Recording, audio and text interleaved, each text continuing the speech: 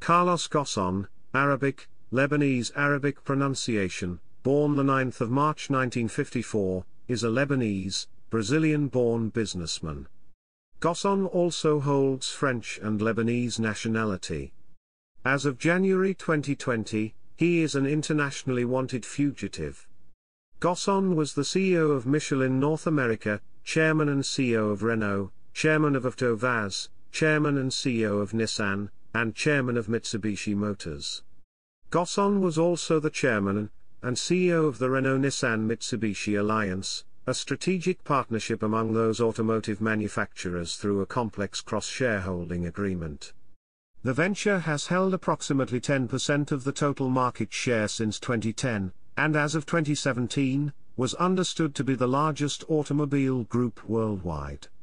In 1996, Renault's CEO Louis Schweitzer hired Ghosn as his deputy and charged him with the task of turning the company around from near bankruptcy. Ghosn elaborated a plan to cut costs for the period 1998 to 2000, reducing the workforce, revising production processes, standardizing vehicle parts and pushing the launch of new models. The company also undertook major organizational changes, introducing a lean production system with delegate responsibilities inspired by Japanese systems, reforming work methods and centralizing research and development at its Techno Center to reduce vehicle conception costs while accelerating such conception. Ghosn became known as Le Cost Killer. In the early 2000s, for orchestrating one of the auto industry's most aggressive downsizing campaigns and spearheading the turnaround of Nissan from its near bankruptcy in 1999, he earned the nickname Mr. Fix-It. Following the Nissan financial turnaround, in 2002 Fortune awarded him Asia Businessman of the Year. In 2003 Fortune identified him as one of the 10 most powerful people in business outside the US, and its Asian edition voted him Man of the Year. Surveys jointly published by the Financial Times and PricewaterhouseCoopers named him the fourth most respected business leader in 2003, and the third most respected business leader in 2004 and in 2005. He quickly achieved celebrity status in Japan and in the business world, and his life has been chronicled in Japanese comics. Ghosn stepped down as CEO of Nissan on the 1st of April 2017, while remaining chairman of the company. He was arrested at Tokyo International Airport on the 19th of November 2018, on allegations of underreporting his salary, and gross misuse of company assets. On the 22nd of November 2018, Nissan's board made a unanimous decision to dismiss Ghosn, as Nissan's chairman, effective immediately. Mitsubishi Motors Executive Board took similar action on the 26th of November 2018. Renault and the French government continued to support him at first, presuming him innocent until proven guilty. However, they ultimately found the situation untenable and Ghosn was made to retire as chairman and CEO of Renault on the 24th of January 2019. While out on bail granted in early March, Ghosn was re-arrested in Tokyo on the 4th of April 2019, over new charges of misappropriations of Nissan funds. On the 8th of April 2019, Nissan shareholders voted to oust Ghosn from the company's board. He was released again on bail on the 25th of April. In June, Renault uncovered 11 million euros in questionable expenses by him, leading to a French investigation and raids. With help from an American private security contractor, Ghosn fled from Japan to Lebanon on the 30th of December, via private jet, breaking his bail conditions. On the 2nd of January 2020, Interpol issued a red notice to Lebanon seeking Ghosn's arrest. Chapter 1 Early Life and Education Ghosn's grandfather was Baikara Ghosn, a Maronite Catholic who emigrated from Ayaltown, French Mandate Lebanon to Brazil at the age of 13, eventually settling in remote Guapore, Rondonia, near the border between Brazil and Bolivia. Baikara Ghosn was an entrepreneur and eventually headed several companies, in businesses including the rubber trade, the sale and purchase of agricultural products, and aviation. His son Jorge Ghosn married Rose Jazza, a Nigerian-born Lebanese woman, whose family came from Miziara in Lebanon then went to Brazil, where they settled in Porto Velho, the state capital of Rondonia, and had four children. Carlos' father, Jorge Ghosn, was a diamond trader and worked in the airline industry. Jorge was convicted of murdering a priest in Sofar, Lebanon in 1960. Jorge fled to Brazil in 1975 at the outbreak of Lebanese civil war. Carlos Ghosn was born on 9 March 1954, in Porto Velho. When he was about two years old he became sick after drinking unsanitary water, and his mother moved with him to Rio de Janeiro. He did not fully recover there, and in 1960, when Ghosn was six years old, he and his mother and sister moved to Beirut, Lebanon, where his grandmother and two other sisters lived. Ghosn completed his secondary school studies in Lebanon, at the Jesuit school College Notre Dame de Dieu. He then completed his classes preparatoires in Paris, at the College Stanislas and the Lycée Saint Louis. He graduated as an engineer from the École Polytechnique in 1974 and the École des Mines de Paris in 1978. Chapter 2 Career Chapter 2 Section 1 Michelin After graduation in 1978, Ghosn spent 18 years at Michelin, Europe's largest tire maker, initially training and working in several plants in France and Germany. In 1981, he became plant manager in Le Puy-en-Velay, France. In 1984 he was named head of research and development for the company's industrial tire division. In 1985, when Ghosn was 30 years old, he was appointed chief operating officer of Michelin's South American operations. He returned to Rio de Janeiro, reporting directly to Francois Michelin, who tasked Ghosn with turning around the operation, which was unprofitable and struggling under Brazil's hyperinflation. Ghosn formed cross-functional management teams to determine best practices among the French, Brazilian, and other nationalities working in the South American division. The multicultural experience in Brazil formed the basis of his cross-cultural management style and emphasis on diversity as a core business asset. You learn from diversity, but you're comforted by commonality, Ghosn has said. The division returned to profitability in two years. After turning around Michelin's South American operations, Ghosn was appointed president and CEO of Michelin North America in 1989, and moved to Greenville, South Carolina, with his family. He was promoted to CEO of Michelin North America in 1990. He presided over the restructuring of the company after its acquisition of the Uniroyal Goodrich Tire Company. Chapter 2 Section 2 Post-privatization Renault. In 1996, Ghosn became executive vice president in charge of purchasing, advanced research, engineering and development, powertrain operations, and manufacturing at Renault, and he was also in charge of Renault's South American division, located in the Mercosur.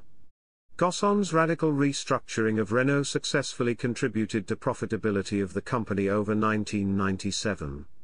His reputation of successful performance under Francois Michelin was repeated under the first CEO of the freshly privatized Renault. Chapter 2 Section 3 Nissan and the Renault-Nissan Alliance In March 1999, Renault and Nissan formed the Renault-Nissan Alliance, and in May 1999 Renault purchased a 36.8% stake in Nissan.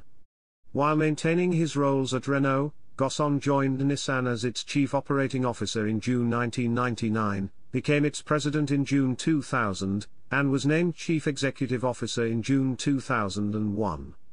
When he joined the company, Nissan had a consolidated interest-bearing net automotive debt of more than $20 billion, and only three of its 46 models, sold in Japan were generating a profit.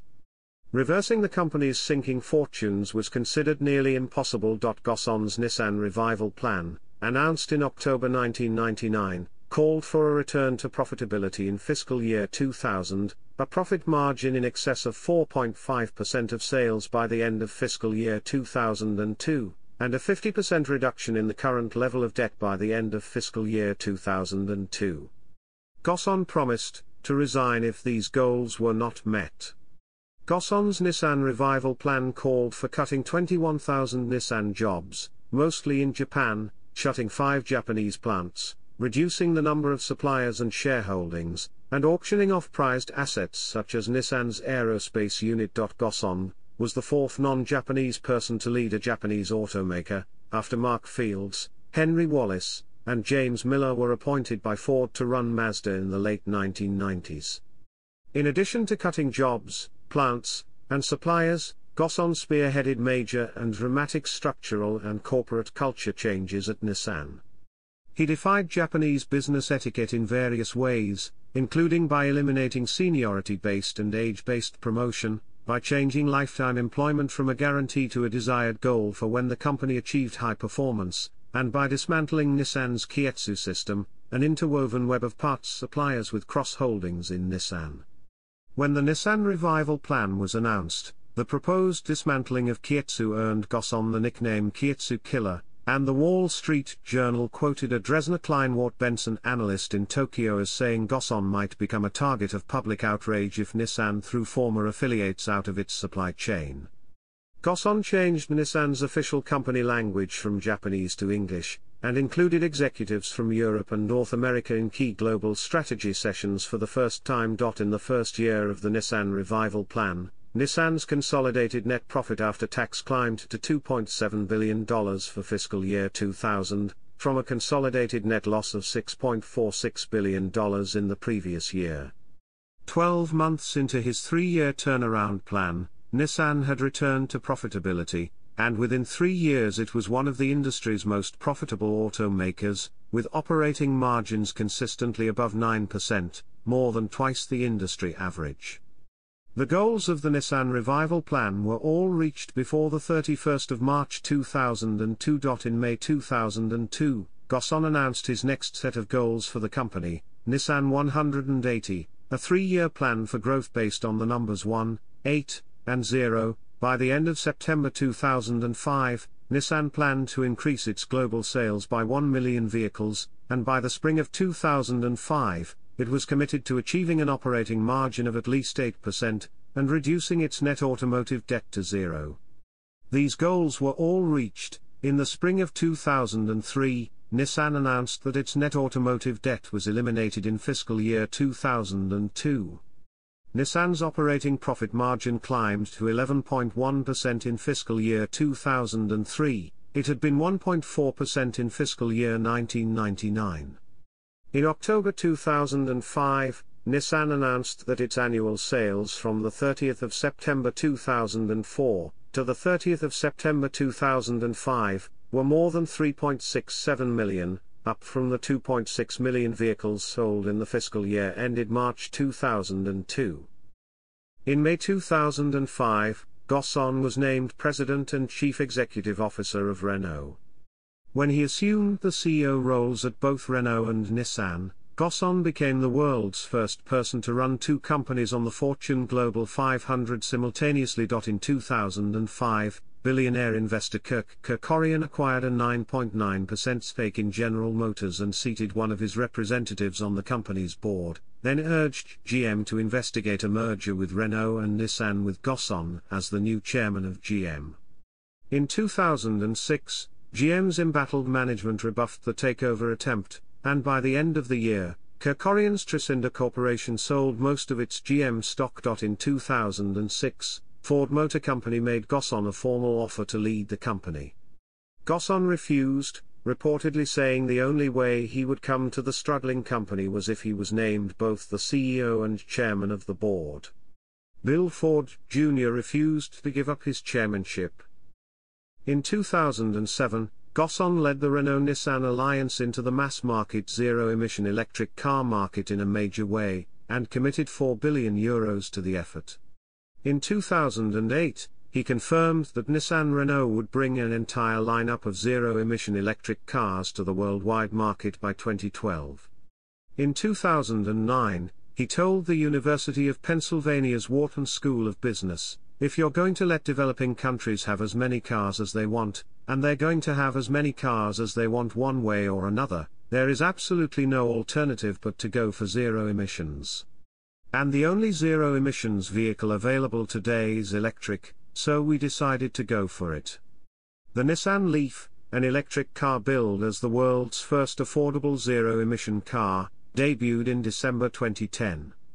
As of 2017, the Renault-Nissan alliance is the world's electric vehicle leader, selling more than twice as many electric cars as Tesla, and the Nissan Leaf is the world's best-selling electric vehicle by a wide margin. Ghosn was a visible leader in recovery efforts after the Japanese earthquake and tsunami on the 11th of March 2011, one of the worst natural disasters in modern history. On the 29th of March 2011, he made the first of several visits to the hard-hit Iwaki engine plant in Fukushima Prefecture, 50 kilometers from the Fukushima Daiichi nuclear power plant, and at his direction Nissan restored full operations at the Iwaki factory well ahead of expectations. He appeared on television in Japan to encourage optimism. In May 2011, Ghosn remained committed to building at least 1 million of Nissan's cars and trucks in Japan annually. In 2011 Ghosn was under scrutiny by the French government for mishandling a spying scandal related to Renault. In June 2012, Ghosn was named deputy chairman of the board of directors of Russian automobile manufacturer AvtoVAZ. In June 2013, he was appointed chairman of the Russian company, a position he retained through June 2016.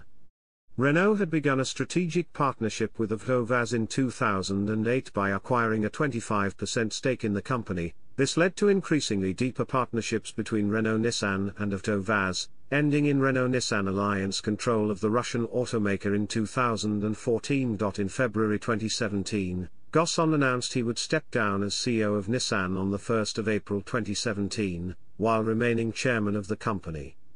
Hiroto Saikawa, succeeded Ghosn and Nissan. In November 2018, Renault owned 43.4% of Nissan, while Nissan owned non-voting shares equal to 15% of Renault's equity. Chapter 2 Section 4, Mitsubishi In October 2016, Nissan completed the acquisition of a controlling 34% stake in Mitsubishi Motors. Ghosn became, in addition to his Renault-Nissan posts, chairman of Mitsubishi, with an aim to rehabilitate the automaker after a months-long scandal involving fuel economy misrepresentation and consequent falling revenues.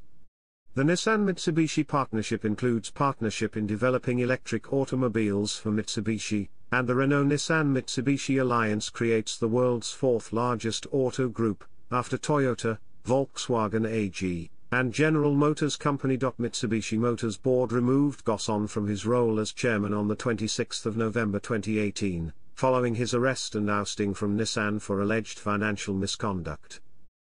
Chapter 2 Section 5 Advisorships Ghosn served on the International Advisory Board of Brazilian bank Banco Itaú until 2015. He is also a member of the advisory board of Tsinghua University School of Economics and Management in Beijing. He has received an honorary doctorate from American University of Beirut, and he is a member of the Strategic Council, St. Joseph University of Beirut. In 2014 and 2015, he was elected president of the European Automobile Manufacturers Association. He serves as governor of the World Economic Forum. Chapter 3 Arrest in Tokyo and Subsequent Nissan Investigation. Chapter 3 Section 1 Initial Arrest. On the 19th of November 2018, Tokyo District prosecutors arrested Ghosn at 4.30 pm upon his re-entry into Japan aboard a private jet that had come from Lebanon, for questioning over allegations of false accounting. Ghosn's top aide Greg Kelly, a Nissan director and former head of human resources, was also arrested upon his arrival from the US that day. On the same day, Nissan chief executive Hiroto Saikawa announced at a press conference that Ghosn had been dismissed from Nissan's board, and would be stripped of executive rights at a meeting to be held on the 22nd of November. Saikawa stressed that the dismissal was the result of an internal inquiry by Nissan, and alleged that Ghosn and Kelly had underreported their compensation and used company assets for personal use.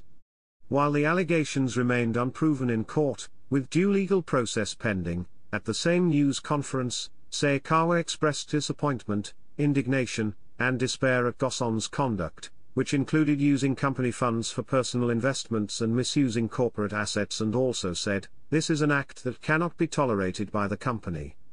It is sufficient grounds for his dismissal. Although the company did not provide details, reports in the Japanese media stated that Nissan was paying all or some of the costs at some amount of 18 million US dollars for residences used by Ghosn in Rio de Janeiro, Beirut, Paris, and Amsterdam, and that Ghosn charged family vacation expenses to the company. The purchases of some of these residences and the payment of expenses were handled by a shell company named ZA Capital BV based in the Netherlands, which Kelly had instructed Nissan's board to set up to make venture investments at the end of 2010. Nissan funds were used to purchase Ghosn's Paris apartment in 2005, and ZA funds were used to purchase his $5 million beachfront Rio apartment in 2012 and his Beirut mansion, which, with renovations, cost over $15 million. Nissan compliance auditors began trying to track ZA activity in 2014 but were stymied at first by the chain of shell companies used in ZA investments. In addition, to avoid reporting the full amount of his compensation in Nissan financials, as required by Japanese law beginning in 2010, Ghosn had Kelly structure complicated deferred payment plans which went unreported under an aggressive interpretation of the disclosure rules which Nissan's outside auditors had not signed off on, and which totaled around $80 million at the time of his arrest eight years later.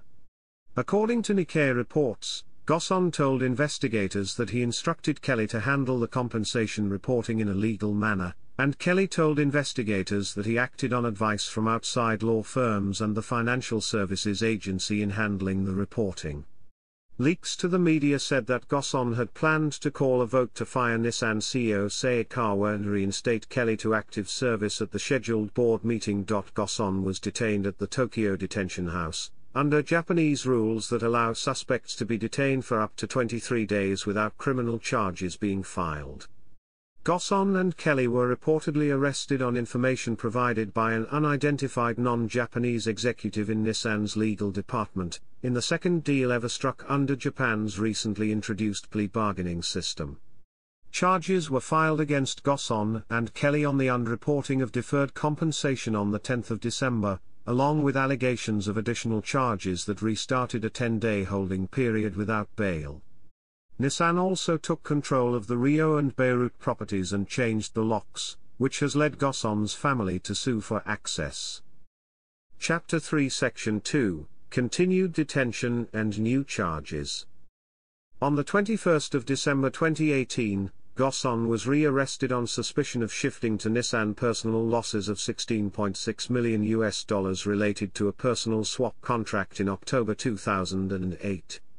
The introduction of those charges prevented Ghosn's release on bail later the same day, because the new charges permitted an additional 10 to 20 days of incarceration prior to a bail hearing.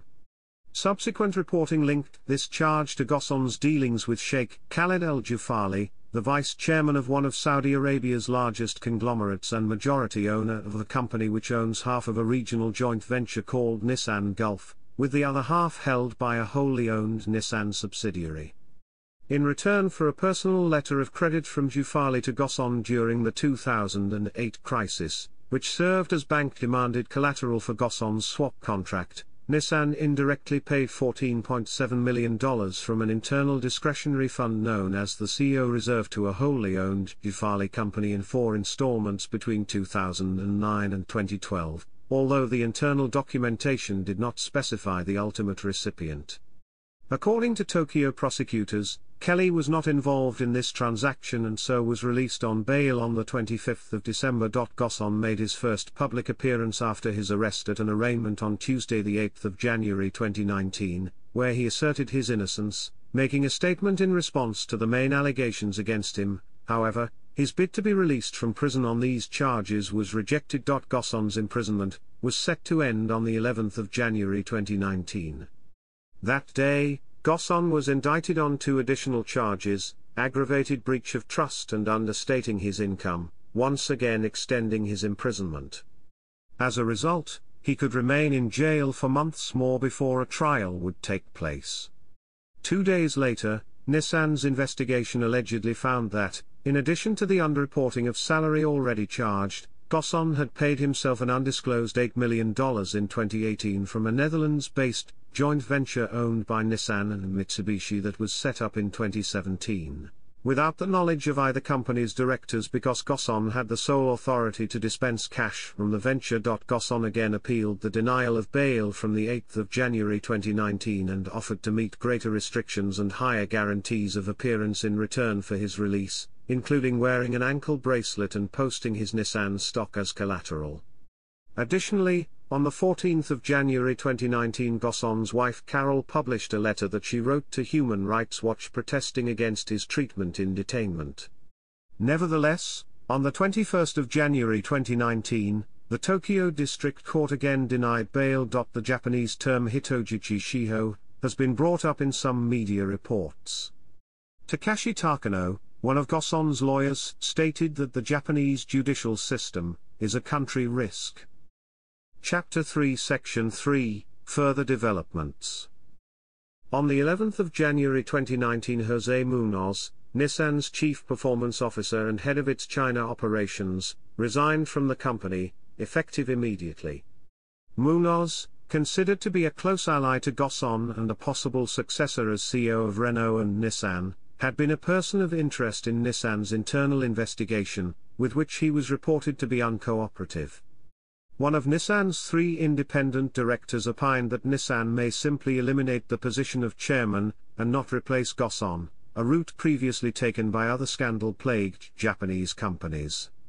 The Reuters Japan News Service reported that Nissan may file suit against Ghosn personally. At first, the French government and Renault had been reported to be standing behind Ghosn during his imprisonment, on the presumption that Ghosn is innocent until proven guilty.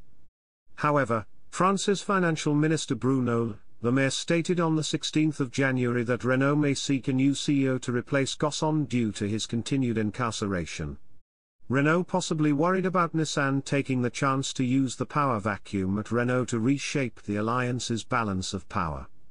After the French government called for leadership change and his bail requests were rejected by the Japanese courts, Ghosn finally agreed to step down. He resigned as chairman and CEO of Renault on the 24th of January 2019. On the 30th of January 2019, Ghosn said the charges were plot and treason by executives at Nissan, who opposed the relationship with Renault and a future plan that was in the works to integrate Nissan, Mitsubishi, and Renault. In mid-February 2019, Ghosn's lead counsel Motonari Otsuru stepped down, and was replaced by Junichiro Hironaka, who has a record of success in a number of high-profile cases. Chapter 3 Section 3 Subsection 2 Bail In early March 2019, Ghosn was granted a request for bail in a Tokyo court. This was his third bail request, and the first by his new legal team under Hironaka. The court set bail at 1 billion yen subject to stringent conditions.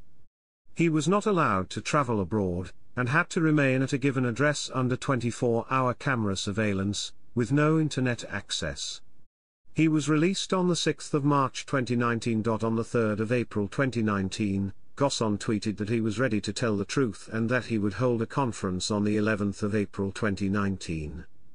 He was rearrested for the fourth time early on the 4th of April 2019 over new suspicions of financial misconduct concerning alleged dealings via Oman. Ghosn released a statement claiming the arrest was outrageous and arbitrary. Until that point in time he had been held for 108 days since he was first arrested in November 2018. On the 8th of April 2019, during an extraordinary shareholders meeting, Nissan shareholders voted to remove Carlos Ghosn from the company board. Shareholders also voted to remove Ghosn's former right-hand man Greg Kelly, and to appoint Renault chairman Jean-Dominique Senard as a director.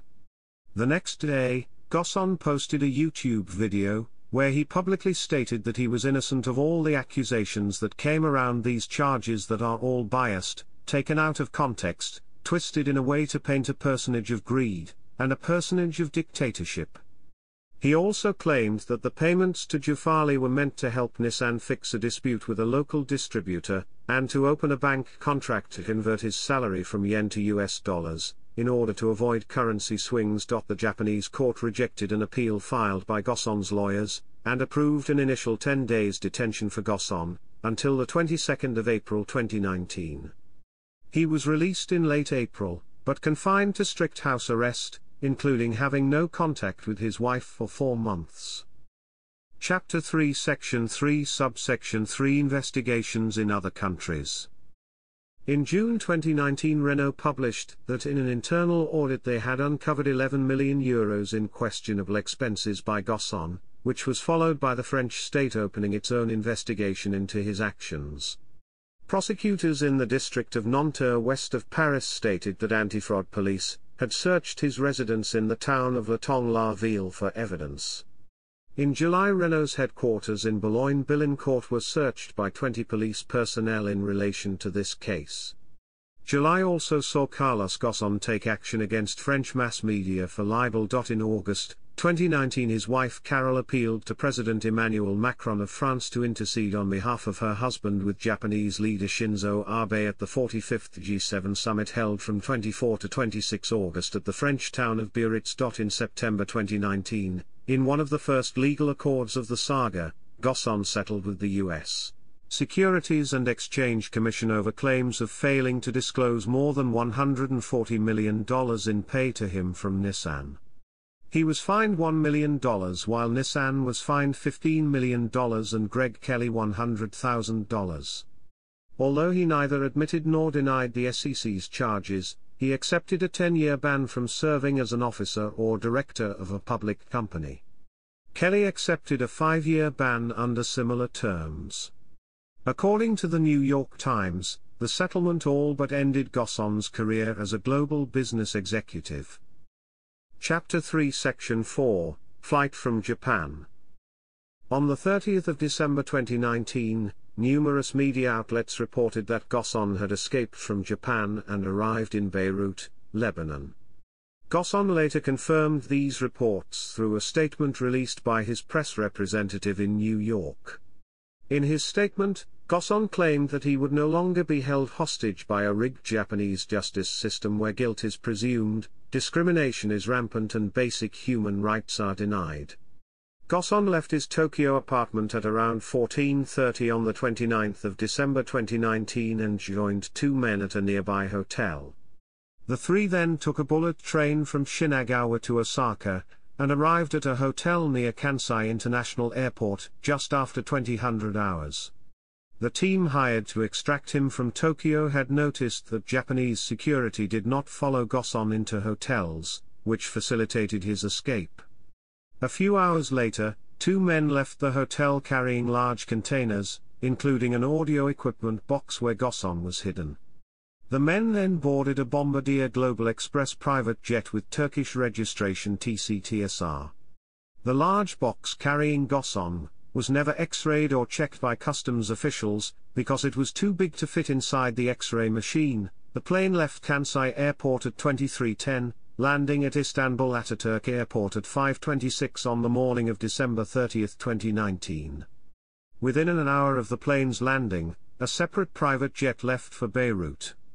An employee at Turkish private jet operator MNG Jet admitted to falsifying passenger records, in which two separate planes were leased, one from Dubai to Osaka and then Osaka to Istanbul, while the other from Istanbul to Beirut.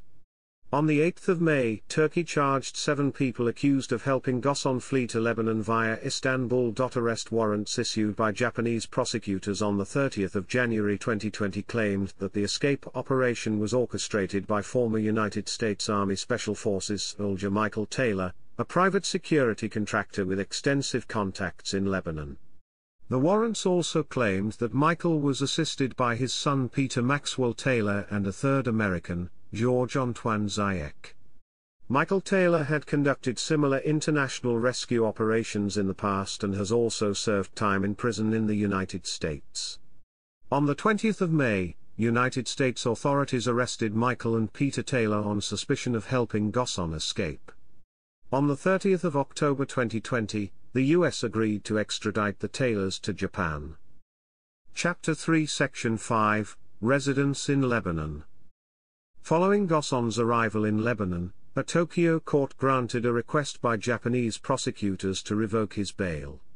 While Japan and Lebanon are both members of Interpol, and have had diplomatic relations since 1954, there is no extradition agreement between the two countries. Interpol has issued a red notice for his arrest. Japanese authorities raided Ghosn's Tokyo apartment on the 2nd of January looking for evidence. Separately, some Lebanese lawyers want Ghosn prosecuted over his 2008 trip to Israel as the chairman of Renault Nissan to meet Better Place founder Shai Agassi, which they claim violated the Arab League boycott of Israel. Ghosn later addressed reports that his family, including his wife Carol, may have played a role in his departure from Japan, stating that such speculation is inaccurate and false. On the 7th of January, prosecutors in Japan issued an arrest warrant for Carol Ghosn on suspicion of giving false testimony during a court hearing in April 2019. Carlos Ghosn held his first press conference since leaving Japan on the 8th of January 2020, in which he described his imprisonment conditions, pleaded innocence and named Nissan executives who plotted his demise. He claimed that when he left Japan, I fled injustice and political persecution. The next day, Judge Ghassan Oueidat, a Lebanese prosecutor, imposed a travel ban on Ghosn. After his escape from Japan, Carlos Ghosn's Japanese lawyer and seven other members of his defense resigned. His lawyer, Junichiro Hironaka, said his escape was a complete surprise. On the 10th of February 2020, Ghosn hired former Disney president Michael Ovitz, co-founder of the Creative Artists Agency, as his Hollywood agent. On the 12th of February 2020, Nissan launched a $90 million lawsuit against Ghosn for alleged corrupt actions, and on the 29th of February 2020, Japan's financial regulators fined Nissan 2.42 billion yen for underreporting remuneration of former chairman Ghosn and other executives for years. On the 8th of July 2020, the Nikkei reported that $862,500 was paid from a Paris bank account related to Ghosn to promote Fox, a company managed by Peter Taylor, an ex-Green Beret who helped him flee to Lebanon. Ghosn's house in Lebanon sustained damage following the August 2020 Beirut explosion, which occurred 5 kilometers away from the residence. On the 3rd of November 2020. Lebanon's prosecutor general decided not to charge Ghosn for visiting Israel in 2008 because the statute of limitations had expired. In November 2020, the United Nations Human Rights Group said that the Japanese government should give Ghosn compensation and other reparations due to the arrest and detention conditions in November 2018. In December 2020, it was reported that French investigators would meet with Ghosn in January 2021 as part of a separate investigation of expenses covered by a Dutch subsidiary of Renault and Nissan. Ghosn is under two investigations in France, one that is focused on suspicious transactions between Renault and a distributor in Oman, as well as another investigation into alleged illegal payments for private trips and events paid by Renault Nissan's Netherlands-based holding company, RNBV.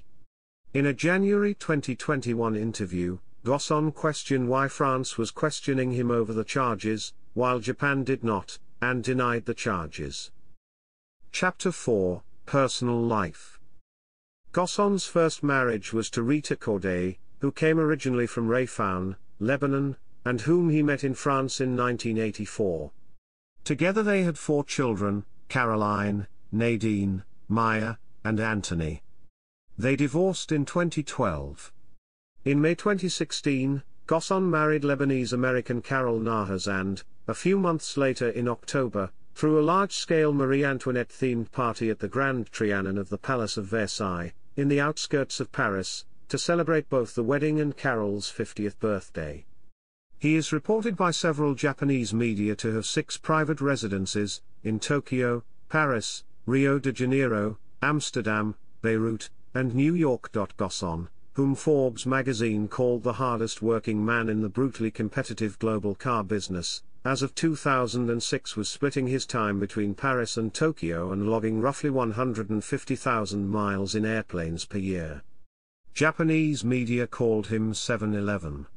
He holds Brazilian, French, and Lebanese citizenships. He has been noted for his direct, results and execution oriented style in business strategy meetings, and for his interest in resolving problems from within a company by listening to workers and by cross functional and cross cultural team groupings. Ghosn is multilingual, speaking four languages fluently French, Portuguese, English, and Arabic, and he has also studied Japanese.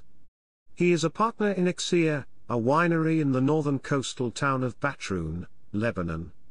In 2012 he was named to the honorary board of the American Foundation of St. George Hospital in Beirut. Ghosn was hailed as a potential presidential candidate in Lebanon.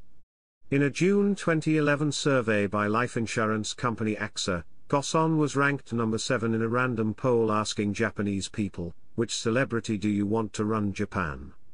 He has so far declined such overtures, saying he has no political ambitions. Ghosn's lawyers have stated he has chronic kidney disease which they claim was worsened by his lack of access to proper treatment while imprisoned. Chapter 4 Section 1 In the Media Beginning in November 2001, Ghosn's life story was turned into a superhero comic book series in Japan, titled The True Story of Carlos Ghosn, in the manga comic book Big Comic Superior. The series was published as a book in 2002. His face has been reproduced both in Lebanese postage stamps and in bento boxes in Japanese restaurants. Ghosn is the subject of a number of books in English, Japanese, and French. In English, he wrote a best selling business book called Shift Inside Nissan's Historic Revival. He was the subject of another business book called Turnaround how Carlos Ghosn Rescued Nissan by David Magee. He also provided strategic business commentary, and on-the-job lessons to aspiring managers in a book called The Ghosn Factor, 24 Inspiring Lessons from Carlos Ghosn, the most successful transnational CEO by Miguel Rivas-Micoud. Chapter 5, Awards and Recognition As a result of his achievements, Gosson has had numerous awards and honors bestowed upon him. Some of these include In 2001, he topped Time magazine's list of global influentials, beating Bill Gates and several other globally renowned businessmen. In 2001, he was named Father of the Year by a Japanese community group. In 2002, he was appointed a Chevalier of the Legion of Honor by the French government. In 2002 Fortune awarded him Asia Businessman of the Year. In 2003, he was named Man of the Year by Fortune magazine's Asian edition. In 2003 Fortune listed him as one of the 10 most powerful business leaders outside the US in 2004. He became the first foreign business leader to receive the prestigious Blue Ribbon Medal from Emperor Akihito of Japan. In 2004, he was added to the Automotive Hall of Fame. In 2004, he was also added to the Japan Automotive Hall of Fame. In 2006, Ghosn was made an honorary Knight Commander of the Order of the British Empire. In 2010, CEO Quarterly magazine listed Ghosn as one of the most respected CEOs. In 2011, CNBC listed Ghosn as Asia Business Leader of the Year. In 2012, Ghosn was awarded the Grand Cordon of the Order of Wissam Alawite, an honorific designation to civilians in recognition of services that benefit Morocco. In 2012, Ghosn received the Japan Society Award. In 2012, Ghosn became the first person in the auto industry, and the fourth overall, to win a Lifetime Achievement Award from the Strategic Management Society, a non-profit group that promotes ethical and strategic business stewardship. In 2012, Ghosn was awarded the Grand Cross of the Order of Isabella the Catholic, an honorific designation to civilians in recognition of services that benefit Spain. In 2013, he was appointed International Fellow of the Royal Academy of Engineering. In 2017, Lebanon's National Post Office, LibanPost, unveiled a collectible stamp honoring Carlos Ghosn.